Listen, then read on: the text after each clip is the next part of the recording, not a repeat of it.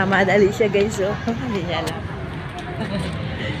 Iiwan mo ko, ha? Order siya guys.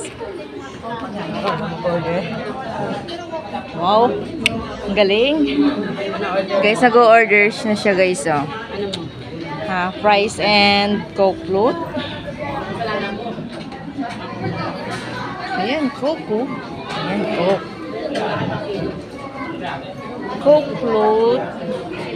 Coke float? Wala namang coke. Yun, drinks mo. Gusto ko yung coke na lang. Ito. Coke and float. Ayan, coke and float. Ito, 78 malaki. Ito sa akin. Kasi pang dalawa? 250 yan eh. O, di dalawang ganyan na. Ba't isa lang yan? Dahan-dahan lang may nakalaban. Sabi daw, dandahan lang. Ayan ang order niya. Ano pa? Price na. Ano ba gusto mo? Price? Hindi ako mag-price. Ay, di wow. Ano. Oh, magkakasya lang dito sa may pera na ibinigay ni ate Mi Mio. Mio. Tingnan mo. Magkano? Oh, mahal yan.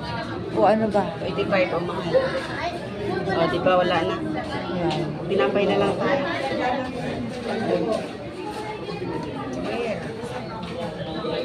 $156 ba yun? Yung dalawa? May one po. Process mo. 250 itong pera. Daming tao dito guys sa ano, McDo guys oh. 78 yun eh. Oo. Nalibre lang kami guys ng kasama namin na ano, aplikante doon. Na, ayan. Nakapunta kami ng McDo.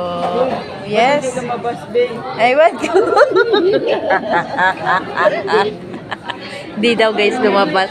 Anong nangyari? Ba't di niya lumabas?